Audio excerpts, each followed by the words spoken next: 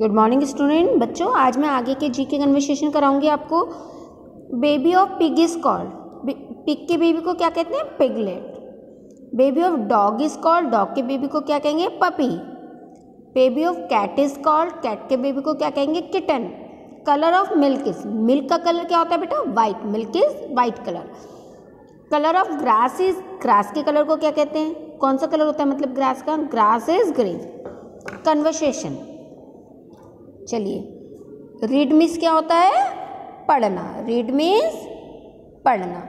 Right means लिखना। Give means देना। Take means लेना। डू मिस करना। गो मिस जाना। कम मिस आना। स्लीप मिस सोना। वीप मिस रोना। सिट मिस बैठना। स्टैंड मिस खड़े होना। आपको इन सब के मीनिंग ज़रूर पता होने चाहिए।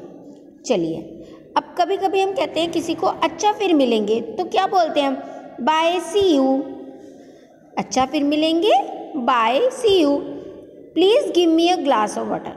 अगर आपको किसी से एक ग्लास पानी मांगना हो कि मुझे एक ग्लास पानी दे दीजिए तो आप इंग्लिश में इसको कैसे कन्वर्ट करेंगे? Please give me a glass of water. कभी आप कहते हैं, मैं अभी आ रहा हूँ या मैं अभी आ रही हूँ तो आप उसको क्या बोलेंगे? आई एम जस्ट कमिंग कभी कभी मैम भी तो कहती है, चुप रहो। तो उसको क्या बोलते हैं? किप क्वाइट मैम बोलती है, शाबाश तो वेल डन सुंदर को क्या बोलेंगे? अति सुंदर ब्यूटीफुल अब मैंने ये पूछा है, जैसी आपकी मर्ज़ी। तो आप क्या, हम क्या बोलेंगे? एज यू लाइक अगर आपको ये बोलना है, जैसे ही आपकी मर्ज़ी तो आप इस सेंटेंस को कैसे बोलेंगे इंग्लिश में? As you like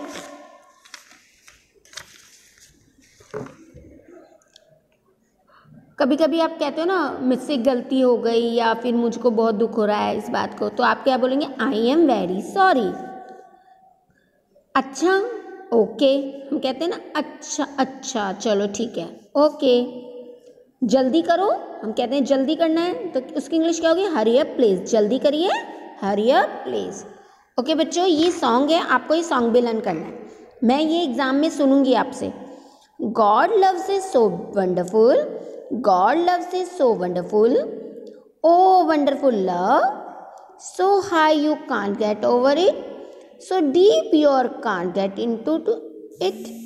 So wide you